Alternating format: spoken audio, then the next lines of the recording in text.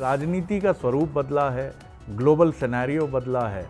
इसमें क्या कांग्रेस बदलने से अब ठिठक रही है? कांग्रेस अगर चेंज का पार्ट नहीं रहेगी तो Congress will be less competitive. शायद अभी बीजेपी का उत्थान का समय है तो उनके पास कुछ इस तरह के लोग होंगे। BJP in fact is a new party इसलिए वो टैलेंट हंट पे है।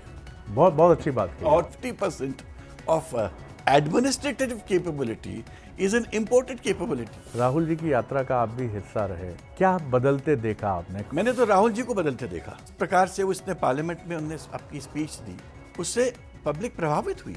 आपने कहा कि नए नरेटिव की ज़रूरत होती है। जिस देश में 65 परसेंट पॉपुलेशन अगर यूथफुल है तो उसमें अगर आप if you have an old party candidature it won't work status quo कभी चेंज नहीं आता। है